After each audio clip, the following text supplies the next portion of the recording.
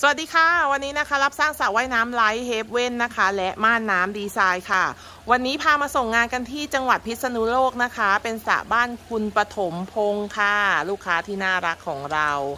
สระนี้นะคะเป็นสระน้ำล้นนะคะ น้ำล้นด้านยาว แล้วก็ปูด้วยกระเบื้องดินเผานะคะ สีสีฟ้านะคะ กระเบื้องดินเผานะคะ น้ำก็จะออกมาใสสวยปิ๊งแบบนี้เลยค่ะ อันนี้เป็นตัวเลือกนะคะที่ลูกค้าอาจจะ อ่าไม่อยากได้กระเบื้องอ่าหินธรรมชาติ อยากเป็นหินดินเผาก็เป็นแบบนี้ได้นะคะอ่าแล้วก็มีหัวนวดจากุชี่แรงๆแบบนี้นะคะอ่าลูกค้าสามารถเลือกได้หลายฟังก์ชันเลยค่ะกับเรานะคะ